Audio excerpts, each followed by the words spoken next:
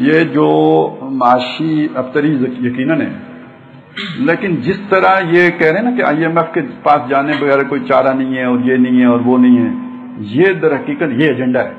ये एजुकेशन हो रही है। ये मुझे और आपको तैयार किया जा रहा है कि भाई आईएमएफ के अलावा कोई चारा नहीं ये सियासी लीडरों को भी तैयार किया जाए। हमारे सियासी लीडर भी बसीरत से महरूम ही होते हैं, अक्सर व बेशतर। तो अब देखें, ये बात फजल रहमान साहब की समझ में आती है नहीं? आ गई तो शायद वो नवाज़ को समझा लें या जरदारी को समझा लें तो फिर फ़ायदा हो जाए। नहीं तो ये चले गए ना आईएमएफ के पास तो मौत है। लेकिन ये मौत है, वो शुगर वाली मौत। एक मौत होती है, हार्ट अटैक वाली मौत।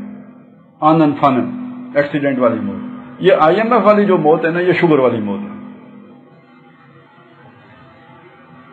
इनके पास और भी, यानी देखे ना, मेरी बात सुने, अगर ये इंसान के पुत्र बने तो ये आए ना लोगों से कहें, भाई ठीक है, हम भी आज के बाद ये प्रोटोकॉल अयाशियाँ फलानी टिंगड़ी सब बंद करते हैं। एसी हमारे दफ्तरों में भी नहीं चलेंगे, किसी सरकारी दफ्तर में नहीं चलेगा।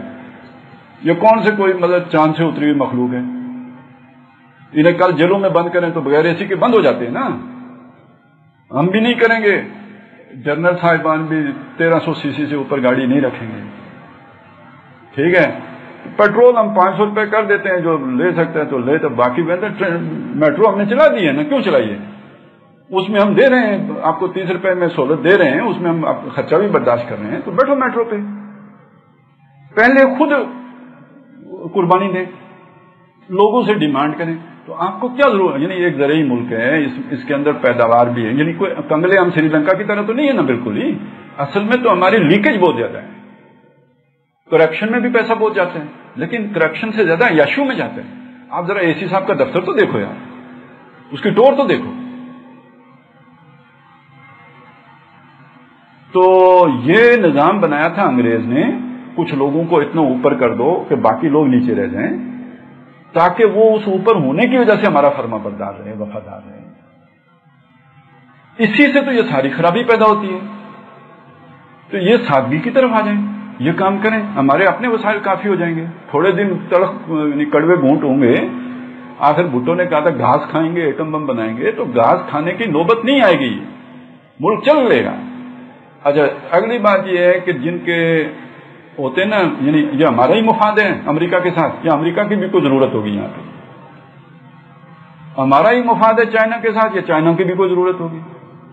तो जब आप छह महीने के लिए, साल के लिए, दो साल के लिए दिखा देते हैं अपना आप कि भाई हमें किसी की कोई गर्ज नहीं है तो फिर लोग खुद आते हैं कि यार नहीं, इस तरह नहीं जिया जा सकता। बंदे को कुछ अपना ख्याल करना चाहिए। फिर दूसरी तरह की टीमें आ जाती हैं। जो हमारे पास सिक्सटीज में आई थी, अयूब खान के पास आई थी। वो आ जाती है और अभी आप देखिएगा, छह महीने, साल के अंदर अंदर तालिबान के पास आना शुरू हो जाएँगे। जब दुनिया ग्लोबल विलेज है तो कोई भी इलाका अगर लाउड हो गया है तो दुनिया का नुकसान हो रहा है ना? तो वो उसे खोलने की कोशिश, खोलने की कोशिश करेंगे तो मुजाकरात पे आएँगे तो फिर कुछ देंगे तो फिर मुजाकरात होंगे ना? नहीं होंगे।